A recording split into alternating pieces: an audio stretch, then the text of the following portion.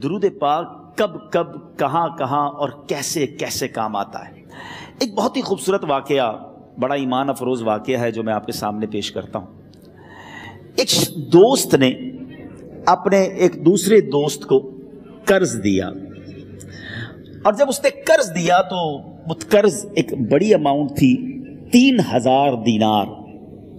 वो टाइम आ गया जब उस टाइम वो कर्ज लेने के लिए अपने दोस्त के पास गया कि भाई मुझे मेरे पैसे वापस दो तो उसने कहा कि पैसे तो नहीं है मेरे पास, मैं कोलैप्स हो गया हूँ बिज़नेस अब मेरा ख़त्म हो गया है, मैं तुम्हारी रकम नहीं दे सकता। उसने एक और टाइम दे दिया उसे कि ठीक है, अब इतने वक्त दिनों के बाद में दे दूँगा।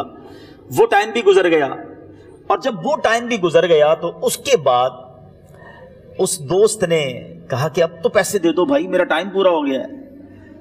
फिर ना दे सका टाइम आखिरकार मामला जो है वो कोर्ट में चला गया, काजी के पास चला गया।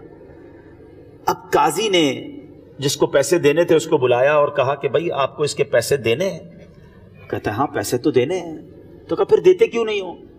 कहा, पैसे है ही नहीं, कारोबार ही खत्म हो गया है, कर्जा तो लिया था, अब मेरे पास बचा ही कुछ नहीं है। तो कहा अच्छा अब ये बताओ कि कब दोगे, कैसे दोगे? उसने कहा, बस मेरे पास पैसे ही नहीं है। तो कहा, अब तुम्हारे पास तीस दिन का टाइम है। थर्टी डेज़ में या तो इसके पैसे लौटा दो या तीस दिन के बाद तुम्हें कैद कर दिया जाएगा।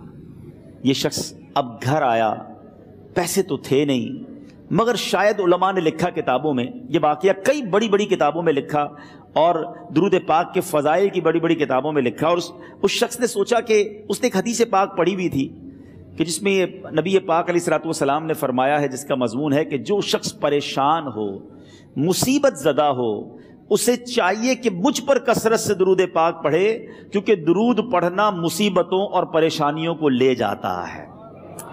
अब उस आशिक के रसूल ने सोचा, और तो कुछ है नहीं। अब मैं दरूद पाक पढ़ना शुरू करता हूँ। सुबह से लेकर शाम तक वो दरूद पाक पढ़ने लग गया। सत्ताईस दिन गुजर गए। ओनली थ्री डेज़ लेफ़्ट तीन दिन बाकी थे काजी के पास जाने में। सत्ताईस दिन गुजर गए दुरूद पढ़ते पढ़ते जब अट्ठाईसवीं रात आई तो आँखें तो बंद हुई, मगर ख्वाब में उसे एक आवाज़ आई, घबराओ नहीं, तुम्हारा कर्जा अदा कर दिया जाएगा, तुम्हारा मसला सॉल्व हो जाएगा। सुबह उठता है, दरुद पाक पढ़ रहा है, मगर कहता है, ये आवाज़ से तो मसला हल नहीं होगा पैगाम क्या है उसे समझ ना आया। अट्ठाईसवां दिन गुजर गया, उनतीसवीं रात आ गई मगर अब आँखें बंद हुई और किस्मत जाग उठी। नबी पाक साहिब लौलाक सल्लल्लाहु अलैहि वसल्लम ख्वाब में तशरीफ़ लाए। और प्यारे आका, सल्लल्लाहु अलैहि वसल्लम ने फरमाया, घबराओ नहीं। अली बिन ईसा वज़ीर के पास जाओ, वो तुम्हारा कर्जा अदा कर देगा। अब ये आशिक रसूल सुबह उठा तो वेरी फ्रेश हशाश बशाश के अब तो काम हो गया। नबी पाक ने ख्वाब में आकर बशारत दी है। मगर फिर जहन में सवाल आया कि अली बिन ईसा के पास जाऊँगा तो सबूत क्या है? प्रूफ क्या होगा? मैं जाकर उसको कहूँगा कि मेरा कर्जा दे दो। तो ऐसे तो कर्जा नहीं दे देना। और मैंने उसको कहा कि मुझे नबी पाक ने ख्वाब में कहा है, और उसने अगर मुझसे कोई निशानी मांगी तो मैं निशानी क्या दूँगा? आखिरी दिन था, उनतीसवां दिन था, वो भी दरूद पढ़ते पढ़ते गुजर गया। थर्टियथ नाइट आ गई। सुबह वो दिन है जब अदालत में जाना है। अब इस रात फिर नबी पाक सलाम ख्वाब में तशरीफ़ लाए। और आका अली सलाम ने फरमाया कि, अली बिन ईसा वज़ीर के पास जाओ, वो तुम्हारा कर्ज अदा कर देगा। का हुजूर, चला तो जाऊँगा। लेकिन अगर वज़ीर ने मुझसे कोई निशानी तलब की तो मैं क्या जवाब दूँगा? प्यारे आका अली सलाम ने कमाल का इरशाद फरमाया कि, अली बिन ईसा से कहना कि तुम रोज़ाना फजर की नमाज़ के बाद पाँच हज़ार बार दरूद पाक पढ़ते हो। ये राज फकत तुम जानते हो और तुम्हारा रब जानता है। अब ये जब सुबह उठा तो एक निशानी भी मिल चुकी थी। अदालत में जाने से पहले वज़ीर के दरबार में पहुँच गया। उसे यह डर था कि आज पैसे ना लौटाए तो सजा हो सकती है। जब वज़ीर के दरबार में पहुँचा तो वज़ीर अपने मुशीरों के साथ बैठा था। कहा, मुझे आपसे बात करनी है। कहा, बताओ, क्या बात करनी है? कहा, मैं एक पैगाम लाया हूँ आपके लिए। अच्छा किसका पैगाम लाए हो? कहा मैं नबी पाक जनाब मोहम्मद मुस्तफ़ा सल्लल्लाहु अलैहि वसल्लम का पैगाम लाया हूँ। वो आशिक रसूल वज़ीर था। कहता, बताओ मेरे आका ने क्या पैगाम दिया है? का हजूर, मैं तीन हज़ार दीनार का मकरूज हूँ। आज आखिरी दिन है और मेरे आका ने मुझे बशारत दी है कि आपसे कहूँ कि आप मेरा कर्ज अदा कर दीजिए। अली बिन ईसा कहता है, कोई सबूत है आपके पास? है? कोई दलील भी है आपके पास? मैं कैसे मान लूँ कि आपको नबी पाक सलाम ने भेजा है? आशिक रसूल कहता है, खाली हाथ नहीं आया, मेरे आका ने मुझे दलील भी अता फरमाई है।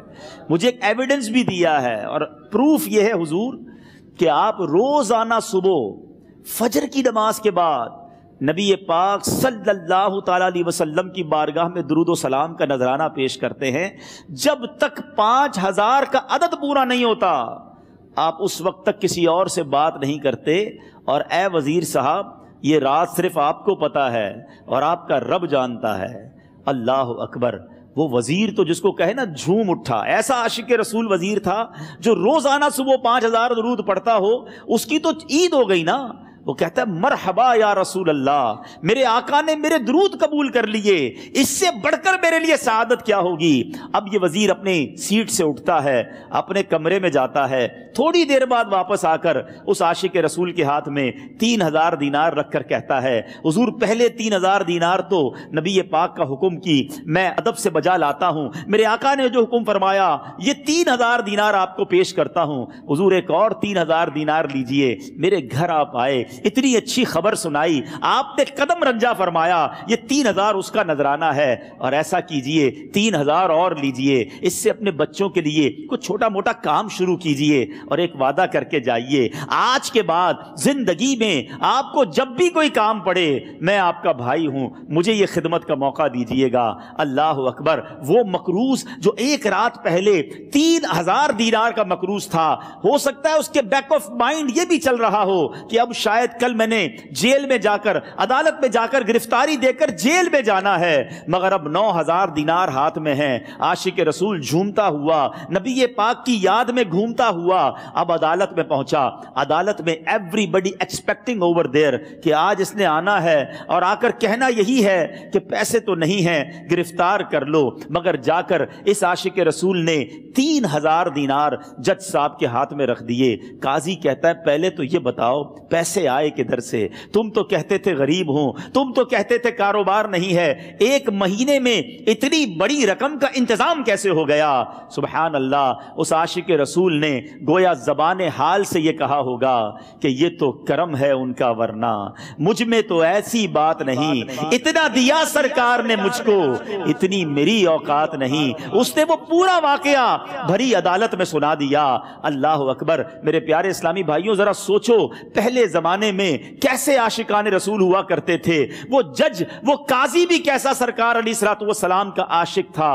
अपने, अपनी सीट से उठता है, भरे दरबार में, भरी अदालत में, वो अपने चैम्बर में, अपने कमरे में जाता है और थोड़ी देर बाद वापस आकर उसके हाथ में भी तीन हज़ार दीनार हैं। और वो तीन हज़ार दीनार जो है, वो उस आशिक रसूल के हाथ में रखता है कि सारा सवाब अली बिन ईसा कैसे ले जाए? मैं भी तो नबी पाक का गुलाम हूँ, मैं तुम्हारा कर्जा मैं अदा करता हूँ। अच्छा अब एक और अजीब सिनेरियो ये बन गया कि जिसने केस किया था, जिसने दावा किया था, वो भी ये सारा मंजर देख रहा था। कहता जज साहब, जरा रुकिए। मैं भी अपने आका का उम्मती हूँ और एक काम कीजिए, कलम कागज़ मंगवाइए, इस आशिक रसूल का कर्जा ही मैं माफ़ कर देता हूँ। अच्छा अब आशिक रसूल ने वो वापस तीन हज़ार दिनार जो जज साहब ने दिए थे, वो वापस जज साहब को दिए कि हुजूर, ये पैसे आप ही रख लें, कर्जा ही माफ़ हो गया। अब आपके पैसे का मैंने क्या करना है? जज साहब कहते हैं, जो पैसे नबी पाक के नाम पर निकाले हैं, अब मुझे वापस नहीं चाहिए। ये भी तुम अपने साथ ले जाओ। अल्लाह अकबर, मेरे मीठे इस्लामी भाइयों, वो आशिक रसूल, एक रात पहले तीन हज़ार दीनार का मकरूज है, अब बारह हज़ार दीनार लेकर घर को वापस जा रहा है। इस एक वाक्य के अंदर जो हम सब के लिए दर्स है, जो हम सब के लिए पैगाम है, शायर लिखते हैं ना, दुखों ने तुमको जो घेरा हो तो दुरूद पढ़ो। दुखों ने तुमको जो घेरा हो तो दुरूद पढ़ो, जो हाजरी की तमन्ना हो तो दुरूद पढ़ो। आज हम बहुत सारी प्रॉब्लम्स में होते हैं। यहाँ भी हो सकता है मेरा कोई भाई बीमार बैठा हो, कोई कर्जे में डूब गया हो, किसी का कोई बिज़नेस प्रॉब्लम चल रहा हो, कोई फैमिली इशू में डिस्टर्ब हो। आप किसी भी प्रॉब्लम में हैं, खुदा की कसम, दुरूद पाक ऐसा वजीफा है। लोग बहुत सारे वजाइफ पूछते रहते हैं, बहुत सारे जनाब वजाइफ के बारे में मालूम करते रहते हैं। सच्ची बात यह है। हर दर्द की दवा है। सल्ले अला मोहम्मद। हर दर्द की दवा है। सल्ले अला मोहम्मद। तावीज़ हर बला है। सल्ले अला मोहम्मद। तो खुदारा अपनी ज़िंदगी में दरुद पाक को शामिल कर लीजिए और आप बिलीव करें, जब आपने कसरत से दरुद पाक पढ़ने शुरू कर दिए, आप अपनी आँखों से देखेंगे, आपके प्रॉब्लम दूर हो रहे हैं, आपकी सेहत अच्छी हो रही है, आपके कर्जे उतरने शुरू हो गए हैं, रोज़गार में आपके बरकत होना शुरू हो जाएगी आपके चेहरे पे नूर आना शुरू हो जाएगा, आपकी जबान में असर आना शुरू हो जाएगा।